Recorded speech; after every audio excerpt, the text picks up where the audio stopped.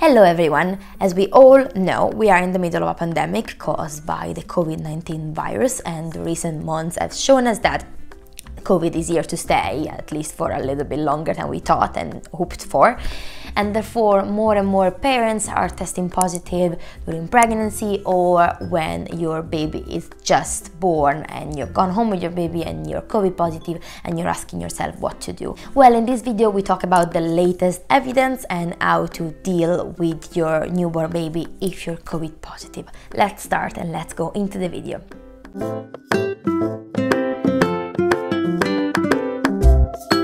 Hello future or current parents, if you're worried about getting COVID during pregnancy or when your baby is born, you're right, COVID is literally everywhere now. You just have to step out the door to get it, unfortunately. What we know is that babies are unlikely to get COVID. Usually babies born by COVID, COVID positive mothers are not COVID positive themselves. And even if they are, they have no or very mild symptoms. That being said, we still need to use some precautions and some hygiene rules in order to make sure that you and your baby are healthy and safe. Therefore, I'm not a doctor, I'm a midwife. I was not expecting to do a video about COVID, but I find myself every day advising people and new parents about how to deal with COVID, and therefore, why not to share it with you. So, if you don't know me already, my name is Ilenia, I'm a midwife. I've been a midwife now for seven years. I currently live and work in the UK and it's my great passion, passion to help women during their pregnancy, birth and postpartum journey. So if you've not done so already, please make sure to subscribe to the channel because I do a video every week about motherhood topics. The recent evidence tells us that babies are very unlikely to get COVID from parents and that they are unlikely to be very sick and heal from it. We also know now, being two years into this pandemic, that bonding with mom and dad is more important than the risk of limiting or preventing the bonding from the baby and the mom especially is definitely higher than the risk of the baby to contract covid. Therefore i hope that every hospital now has this approach but even at home you have to be with your baby close to your baby. You have to promote bonding skin to skin and keep breastfeeding even if you are covid positive. This is quite clear from the evidence. I'm referring to the WHO, UNICEF, or the Royal College of Obstetrics and Gynecologists. They all agree that the bonding with the baby and the mom is so important to prevent and reduce morbidity and mortality in the newborn baby. That being said, we still have to adopt some norms and rules in order to make sure that you and your baby are safe and that you limit the chance of your baby to contract COVID. First, first and most important is about hygiene. It's very important that you wash your hand appropriately before you hold your baby. Every time that you pick your baby up, make sure that your hands are washed and clean before you do that every time. And for example, if you have visitors at home, I hope that if you're COVID positive, you don't have anyone coming to your house. But if you need help, or if you're if the person that is with you is COVID negative, for example, and you're COVID positive, make sure that also the person working or living with you adopts these these rules so that they wash their hands every time they touch the baby, that they wear a mask as well. And um, wearing a mask is one of those a bit more contradictive because we're not 100% sure, but I would personally suggest you to wear a mask when you're holding your baby if you're COVID positive. That would prevent the droplets to go on your baby and limit therefore the chance of your baby having COVID. I know it's very hard, but especially when you keep your baby less than two meters close to you, I would definitely suggest you to wear a mask. Also, it's very important if you have symptoms like cough and sneezing, it's very important to have some tissues nearby you just so you can grab them and cover your mouth and nose when you're about to sneeze or to cough.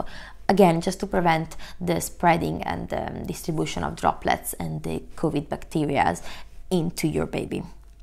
If you have high fever, it's very important that you try not to um, be sleeping with your baby like it's it sleeping needs to be done safely in general. But if you are very hot then your baby is likely to get hot as well and is not good for your baby. So make sure that you are careful about that. You can do skin to skin but like if you are having a high temperature just be mindful of your baby's temperature as well.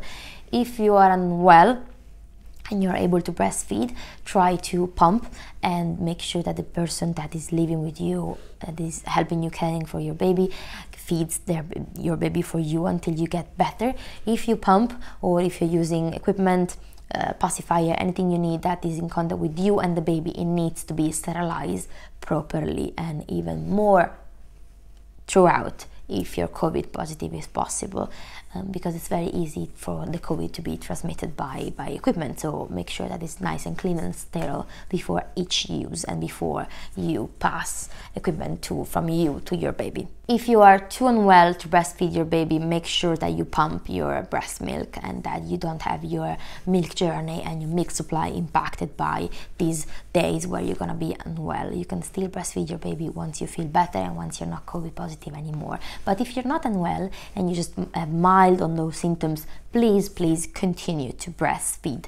There is no evidence that says that a woman should not breastfeed a baby if you're COVID positive. On the contrary, anticorps have been found in breast milk, but not COVID so far. So it's kind of a way that you have to give a natural vaccination to your baby through your breast milk if you feel unwell, please seek for medical attention. It's very important that you also pay attention to your baby. As I was saying before, babies are unlikely to be symptomatic of COVID, but if your baby becomes lethargic, and unwell, is not sleeping, and is coughing or sneezing or has high temperature, and you know that you're COVID positive, please do not hesitate to seek for medical attention and get your baby seen as soon as you can. Call the services available in your country for advice. Usually, a lot of countries have breastfeeding lines available or numbers that you can call if your situation is not urgent and does not require you to go to the A&E of the hospital, but you just want an advice. Call your GP, your your general practitioner doctor, and make sure that you are informed about what you should do